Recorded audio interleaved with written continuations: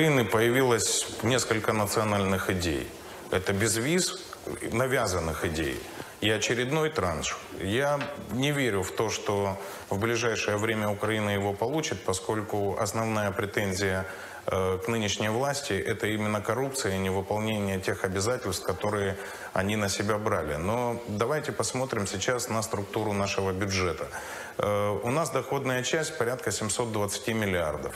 70 миллиардов, вот если у кого-то есть калькулятор, вы читаете, 70 миллиардов – это официальный дефицит бюджета.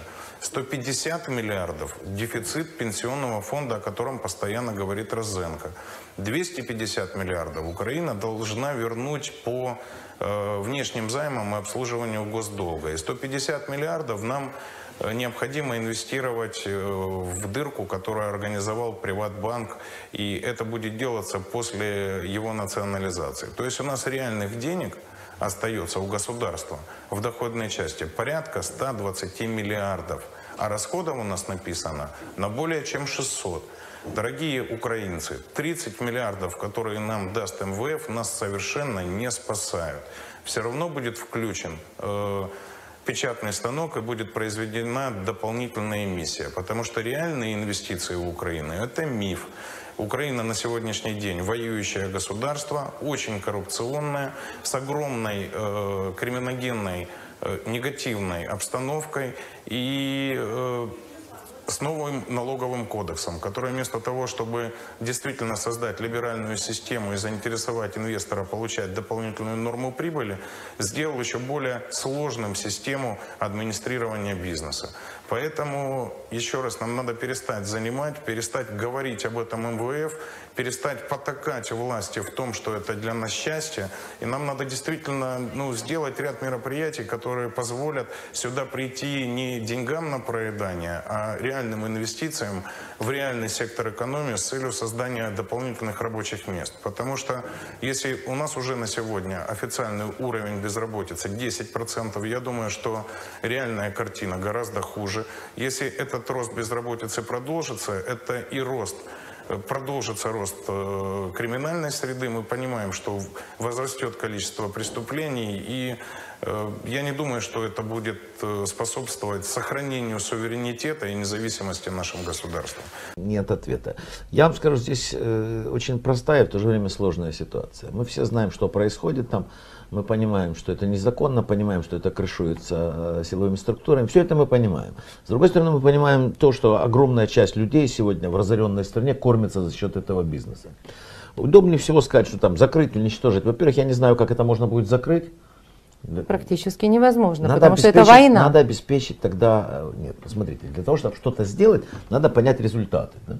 Надо обеспечить работу этих людей, надо предложить им альтернативу, надо строить какие-то э, заводы, фабрики, что-нибудь, что людей перепрофилирует. Э, надо что-нибудь сделать для тех людей, которые узаконят. Все это нужно. Да? Мало того, я слышал неоднократно, в том числе от руководителей наших силовых органов, что это будет обязательно сделано. Но мы все знаем фамилии тех, кто э, там работает, знаем фамилии всех, кто крышует, и знаем прекрасно, что доля с каждого э, солнечного камня да, уходит наверх в Киев. Что делать с этим? Вы знаете, вот у вас это болит, потому что вы живете в своей области. Конечно. Может быть, в Ровенской это болит. Но меньше в Харькове там болит, это меньше. Э, а ведь ситуация абсолютно одинаковая. Здесь э, там нефть, здесь газ, здесь скважины, здесь солнечный камень, здесь еще. Везде, где что-нибудь можно подняться чуть-чуть, где государство может и люди что-то заработать, там же садится какой-то вот этот вот спрут, нанимает на работу этих же людей, делая их заложниками, потому что они защищают свой кусок хлеба и свои семьи. И начинается выкачка вот всего из Украины, из бюджета, из всего. Потому что я всегда говорю слово бюджет такое у нас принято, это из бюджета заплатить. Нет бюджета, это с нашего с вами кармана вынутые деньги. Поэтому, смотрите, у меня вот в последнее время складывается такой взгляд на то, что происходит. Я ведь не могу считать, что все они абсолютные идиоты, вот что нами правят. Значит, очевидно, какая-то логика должна быть в этом. Вот давайте посмотрим логику. Ну, любую, причем последовательно. Возьмем там Кабмин наш. Вот давайте там Министерство здравоохранения. Посадили там Ульяну Супрун. Женщина с засекреченным дипломом, как она сказала. Диплом да. нам, смотрите, ведь это все шутки, но поймите, ну до какой степени, я не знаю, там резервации мы должны дойти были, чтобы к нам приезжает какой-то недоумка какого-то ставят во главе Минздрава. И вот он, он народным депутатам отвечает, что я не дам вам диплом, потому что он засекреченный. Вот смотрите последовательность решений. Первое. Э, орган, надо принять закон о трансплантации органов. Окей. Второй, следующий. Убрать врачей со скорой помощи. Насторожились мы. Решение уже принято. Убрать врачей со скорой помощи. Дальше. Прекратить закупку лекарств для сердечно-сосудистых заболеваний и онкобольных. Э, В этом году полностью провалены закупки по этим э, областям, зато в два с половиной раза закупили больше для борьбы с ВИЧ, э, там, СПИДом. Ведь вам не кажется, что это все-таки целенаправленные какие-то вещи? Тодоров один из лучших хирургов что делается целенаправленно. То есть я считаю, что очень нормально, последовательно Так. поставлена цель уничтожить коренное население Украины. И с ним справляются. Я вчера рассказывал, давайте я вам добавлю к этому другой. Новый учебник. В нем написано математику убрать, физику убрать, а все часы, а увеличены часы только на одно, на физкультуру. Опять у меня все ложится в нормальную схему. Рабы должны быть необразованными и Но физически сильными. да. да. Смотрите, поэтому обвинять наше правительство в том, что они не целенаправленно действуют. Над портами поставили человека, который 6 лет торгует шпротами. Над железной дорогой рокера из Польши, который сейчас уже все разрушил. Абрамявич из Кварташвили, Зар- с- этот, Сгуладзе, э, Деканаидзе, Саакашвили, все, которые взяли за свое, полностью разрушили свой участок работы. И ни одного ответа, кто это сделал, кто отвечает и что. То есть над страной ставят глобальный эксперимент. Сейчас повышают, э, сказали обязательно еще пенсионный возраст. Абсолютно правильно.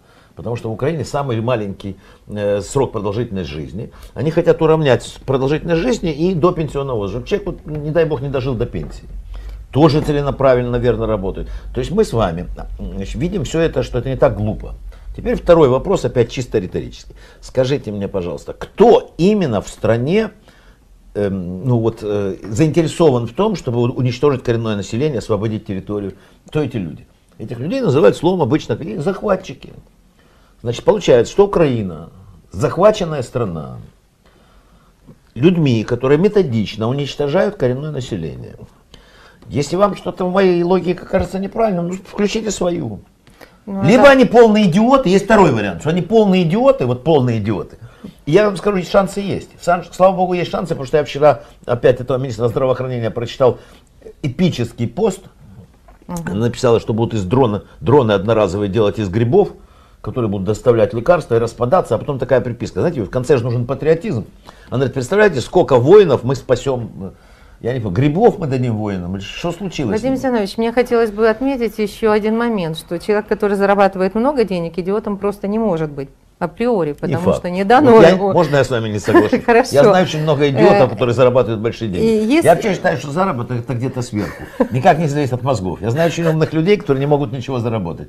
И знаю абсолютных дебилов, которые вот раз прикасаются и заработал. Это какая-то другая карма. Вот если говорить в вашу эту схему, в логику укладывается еще и повышение такое, а, резкое повышение тарифов. То есть Ну, здесь, здесь есть еще и цепочка другая. То есть человека, который не сможет заплатить, у нас будет работать э, служба частных исполнителей, Нет, э, это- судебных, смотрите, которые абсолютно просто правы. абсолютно Мало будут- того, я могу в свою схему Да. вписать все остальное. Тогда у меня полностью все ложится. Для этого созданы все условия. Для этого э, создана тарифная политика, которая по-любому уничтожит э, целый пласт населения. Для этого за границу сейчас выехали все, кто могли активны социально, молодежи, 800 тысяч в Польше, миллион двести в европейские страны. То есть вся эта социальная часть тоже уехала. Принимаются законы э, последовательные, там, я не знаю, ну просто как, вот знаете, вот сидит человек и думает, как еще уничтожить население.